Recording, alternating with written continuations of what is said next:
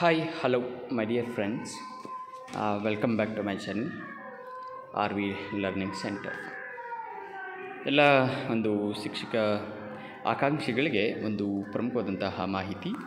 ಅದು ಏನು ಅನ್ನೋದನ್ನು ನಾವು ನೋಡೋದಾದರೆ ಸ್ನೇಹಿತರೆ ಈ ಎಲ್ಲ ಶಿಕ್ಷಕ ಆಕಾಂಕ್ಷಿಗಳು ಎಚ್ ಕೆ ಮತ್ತು ನಾನ್ ಎಚ್ ಕೆ ಅನ್ನುವ ಮನೋಭಾವನೆ ಬಿಟ್ಟು ಎಲ್ಲರೂ ಒಗ್ಗಟ್ಟಾಗಿ ಒಂದೇ ಗುರಿ ಇಟ್ಟುಕೊಂಡು ನಮ್ಮ ನೇಮಕಾತಿಗಾಗಿ ಹೋರಾಡೋಣ.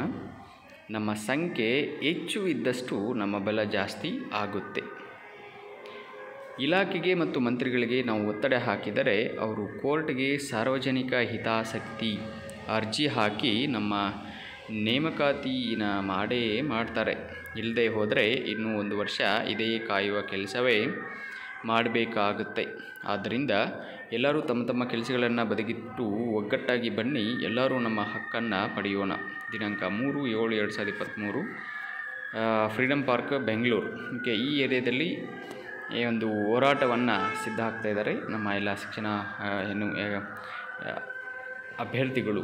ಯಾಕೆ ಅಂತಂದರೆ, ನಿನ್ನೆ ಏನು ಒಂದು ನ್ಯೂಸ್ ಪೇಪರಲ್ಲಿ ನಾನು ನೋಡಿದ ಹಾಗೆ ಶಿಕ್ಷಕರ ನೇಮಕಾತಿ ಪ್ರಕ್ರಿಯೆ ಸದ್ಯಕ್ಕೆ ಇಲ್ಲ ಅಂತೇಳ್ಬಿಟ್ಟು ಒಂದು ಆರ್ಟಿಕಲ್ ಪ್ರೆಸೆಂಟ್ ಆಗಿರ್ತಕ್ಕಂಥದ್ದು ನಾವು ನೋಡ್ಬೋದು. ಬಟ್ ಅದರಿಂದ ನಮ್ಮ ಎಲ್ಲ ಶಿಕ್ಷಕ ಆಕಾಂಕ್ಷಿಗಳಿಗೂ ಕೂಡ ಒಂದು ನಿರಾಸೆ ಮತ್ತು ಇದು ಇನ್ನೂ ಎಷ್ಟು ದಿವಸ ತೆಗೆದುಕೊಳ್ಳುತ್ತೆ ನಮ್ಮ ಒಂದು ಪ್ರಕ್ರಿಯೆಯನ್ನು ಮುಗಿಸಿಕೊಳ್ಳೋದಕ್ಕೋಸ್ಕರ ಅನ್ನೋವಂಥ ಒಂದು ಭಯ, ಹಾಗೆ ಅವರ ಒಂದು ಕುಟುಂಬ ನಿರ್ವಹಣೆ ಮತ್ತು ಮಕ್ಕಳ ಶಿಕ್ಷಣ ಮತ್ತು ಇತರೆ ಎಲ್ಲ ಒಂದು ಸೌಕರ್ಯಗಳನ್ನು, ಅಂದರೆ ಇತರೆ ಏನು ಇದೆ ಅಗತ್ಯತೆಗಳು, ಆ ಅಗತ್ಯತೆಗಳನ್ನು ಈಡೇರಿಸ್ಕೊಳ್ಳೋದಕ್ಕೋಸ್ಕರ ಅದು ಅಲ್ಲದೆಲ್ಲೇ ಒಂದು ಶಿಕ್ಷಕರ ನೇಮಕಾತಿ ಪ್ರಕ್ರಿಯೆ ಆದಷ್ಟು ಬೇಗ ಮುಗಿಸಿಕೊಡಲಿ, ಮುಗಿಸಿಕೊಟ್ರೆ ಆದಷ್ಟು ಬೇಗ ನಮಗೆ ಆದೇಶದ ಪತ್ರ ಕೂಡ ಬೇಗ ಸಿಗುತ್ತೆ ಅಂಥೇಳ್ಬಿಟ್ಟು ಎಲ್ಲರೂ ಕೂಡ ಒಗ್ಗಟ್ಟು, ಒಗ್ಗ,